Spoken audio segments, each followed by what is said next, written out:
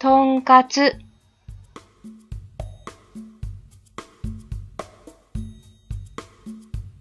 骨なしのポークチョップをラップの間に置きます。肉を叩きます。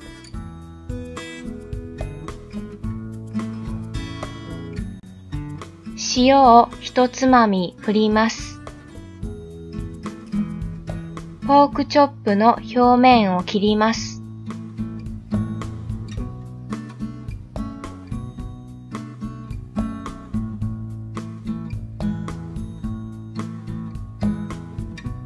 きれいな袋に小麦粉を大さじ2入れます。袋にポークチョップを入れてよく振ります。小麦粉がまんべんなくポークチョップにつきました。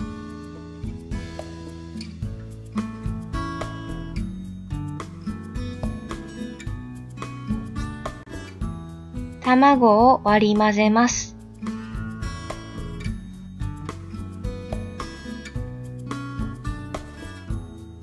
卵に豚肉をくぐらせます。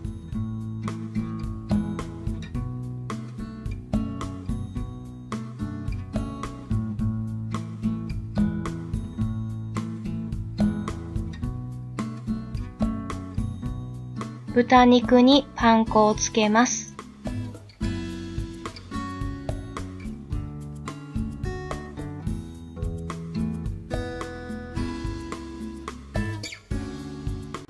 フライパンに中火で油を熱します。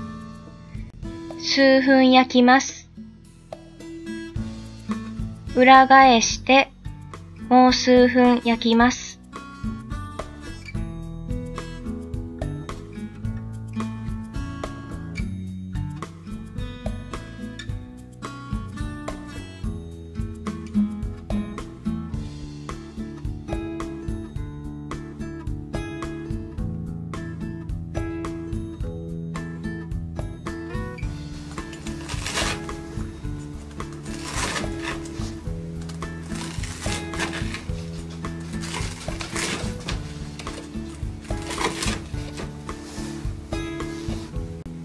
美味しいとんかつの出来上がり。